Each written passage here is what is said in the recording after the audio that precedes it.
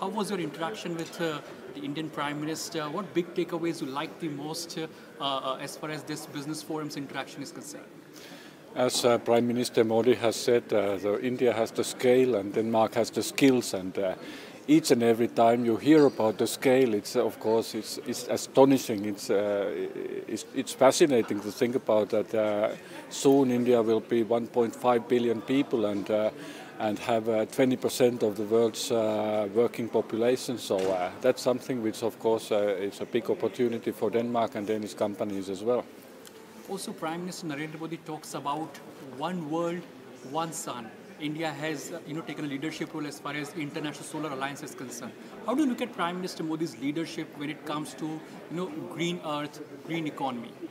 We have a very very big respect on his uh, his uh, his uh, strategy and his programs and.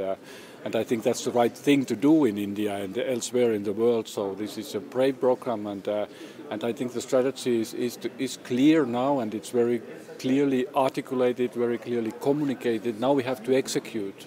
And I think there are the Danish companies like, for example, COWI, which is an engineering consulting company, can help a lot uh, Indians and work uh, closely together with India. We have a, a, big presence actually in India. We have more than 500 engineers and uh, and we, we need more to work in India but also elsewhere in the world and, and bring the Indian talent uh, to the global scheme.